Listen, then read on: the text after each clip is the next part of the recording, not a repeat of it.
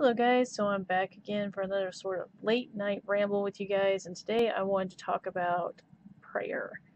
Now, prayer is something that I didn't like I've been a Christian not very long, I guess, maybe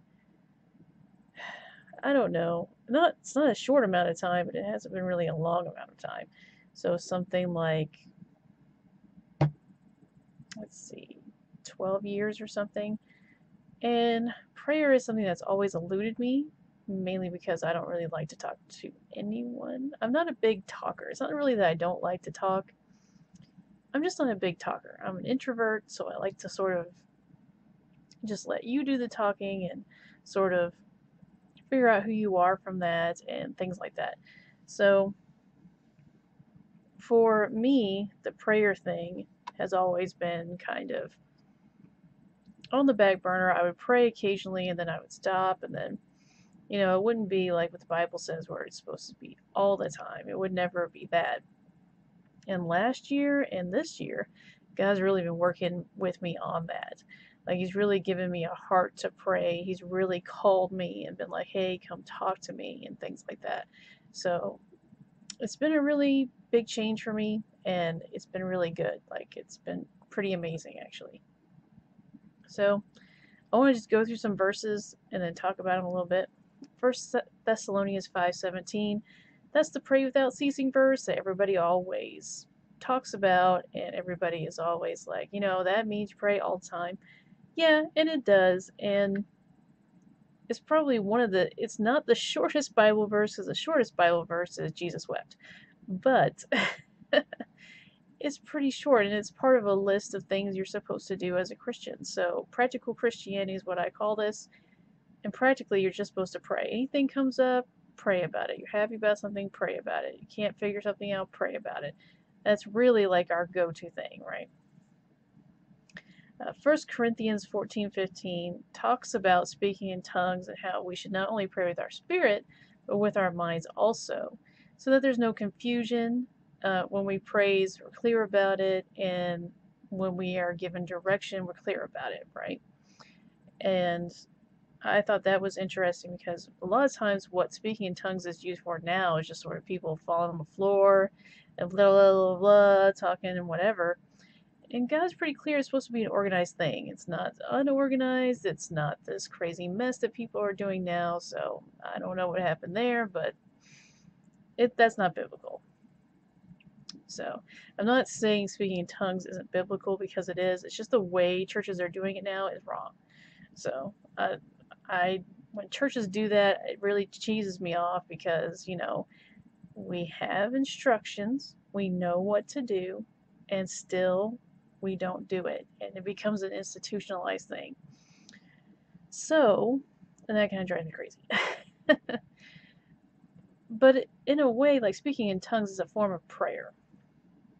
And what I like, I really like where it talks about, it says, not only pray with our spirit, but with our minds as well. This is not like an, I just had a spiritual thing and that's all it was, and it's all emotion. It's not that. It's a mental thing too, where we're thinking with our minds and we apply it, and we have to be sort of rational about things as well. So, I, I don't know. I'm, I've never really gotten this whole.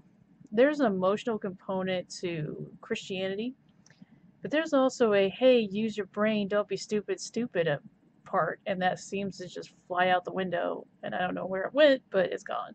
So I don't know in a lot of churches it seems to be gone. So uh, Matthew 6 6 talks about how to pray and what to bend our minds towards when we pray. So that one was pretty easy. You can look that one up. Luke 11:2 is the Lord's Prayer, and this is instructions from Jesus on how to pray. In the Lord's Prayer, you know, Our Father which art in heaven, hallowed be thy name. Your kingdom come, your will be done on earth as it is in heaven. Give us this day our daily bread, and forgive us our trespasses as we forgive those who trespass against us. Lead us not into the snare of the evil one or temptation, but forgive us of our sins as we forgive those who sin against us. And if you ever have gone through, I've been through one Bible study where that's what we looked at. We sort of dissected the Lord's Prayer. And everyone I think should do that because when you look at that, that is all the commandments sort of rolled up into one prayer. You can pray that, and that's just how you can pray, and then move on from there and just roll right through another prayer. So that's awesome. That's directly from you know God. That's a, that's the format. James 5 13 through 15. Prayer is used for healing. And I know there's a major controversy over this. So let me just tell you straight off the bat where I stand with this. I believe we should pray over each other when we are sick, when something happens to us, we have cancers, we have things like that. Excuse me, broken leg, anything. But I also think we should take these physical precautions. If there's a medicine for what's wrong with us, we should take it. I believe, though, also in laying on of hands and praying, and also in like these. Uh, it says in this verse in James 13 through 15 that we're supposed to pray and anoint with oil, anoint the sick person with oil. With, and that's what our leaders are supposed to do. Sorry, I lost my train of thought. And so I take this to mean do your part as well. Take your medicine. Don't be just laying in the road praying, "Oh God, help me." You know, He gave us science, He gave us technology, He gave us all these things, and our abilities with it to help us. so, uh, you know, I just I think that that those couple verses show us not only pray, but also do the physical part, also do the common sense part. So my next one is Mark 9:29. Prayer drives out a demon in this situation. And this is something else that churches don't seem to talk about too much, and I don't know why, because it's in the Bible, especially the New Testament, with Jesus all the time.